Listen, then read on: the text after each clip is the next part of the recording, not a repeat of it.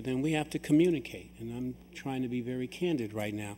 And so when you look at the issue that brought us to this place, we're now trying to put in place a lot of rules and regulations that are really not necessary. You've heard from two council members that they did not intend to do anything secretly. They tried to be open. Uh, they made some mistakes. Um, putting something else in writing is not going to change the difference. You have something already in writing. They made a mistake. They didn't even have the right to create a ad hoc committee according to the municipal code. They weren't going out to try to violate the municipal code.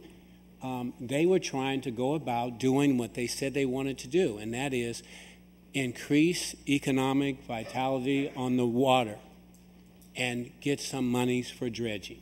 That's what they, they made a mistake in terms of who they added to the committee. I don't think they went out to add somebody to the committee just to create all of this furor that's going on around here. And so they were trying to do the right thing. They understand it didn't, they didn't do everything the way they should have. It doesn't mean that they're going to do it all over again. So why are we now all of a sudden say, well, we don't trust that you're not going to do it again, so we're going to put all these rules in place so you can't.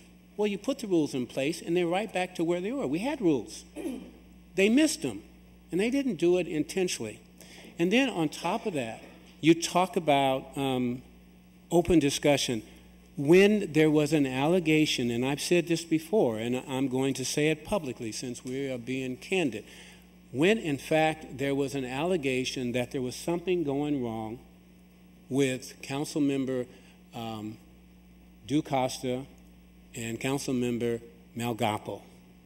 It seems to me that if this body has trust and confidence and working together, then the first thing we do is we go to that council member and say, I understand that this is going on. Tell me what's going on so